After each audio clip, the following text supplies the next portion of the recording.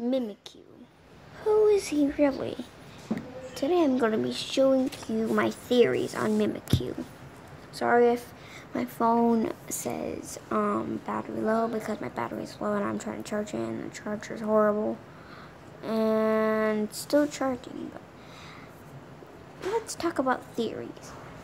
The theories that most people have is probably Porygon or something like that.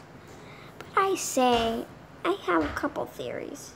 One, it could be Gengar. I have no idea why. I just have a feeling that it's Gengar. Once because, I don't know. I just have the feeling. Because he does have two black, maybe his pupils like right here. Like in his eyes. Oh, sorry. Um, in his eyes could be where Mimikyu, where he's staring into. And plus, there's a lot of creepy pastas about Mimikyu and creepy pastas about Gengar. So I'm just saying that could be one theory. One theory. I have others. One other theory is that Mimikyu is just a really, it's just like a parasite. That's not really a Pokemon.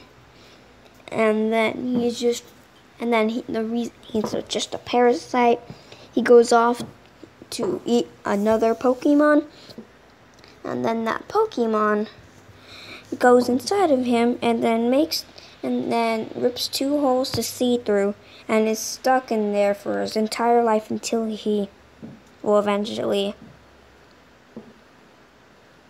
dies or passes away or evolves too big that Mimikyu just explodes. And then out comes a new Mimikyu. That's one thing I think it is. A parasite. You never know. Mm. Yeah. So this is my next theory. Or maybe he is kind of like the other theory I said last time. He, but he's an alien, and he abducts people and just takes them literally, and then brings them back to Earth as an as another Mimikyu.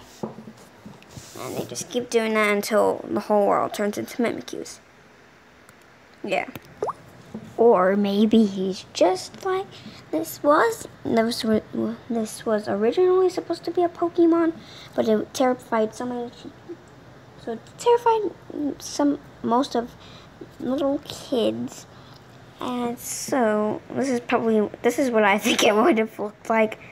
It would have, this would have terrified kids everywhere if they saw this on on um, Pokemon. I mean, like, I mean, it's kind of cool. I, I, I'd like to collect this Pokemon. I bet it would be limited edition. and so they just, either the person who made this Pokemon decided to negotiate and just put a rag that looked like Pikachu over him and nothing would be bad at all.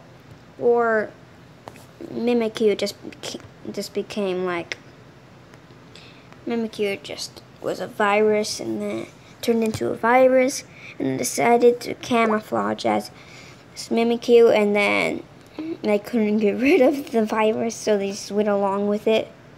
So that's that those are I think that's why. but honestly I think that I think this would probably be the theory or something like that. I'm not sure. But those were my three theories about Mimikyu. And yeah, that's what I thought would be happening about Mimikyu. And yeah, hope you enjoyed this video. Let me know if you want me to do any more theory videos. And yeah, thank you for watching and bye-bye.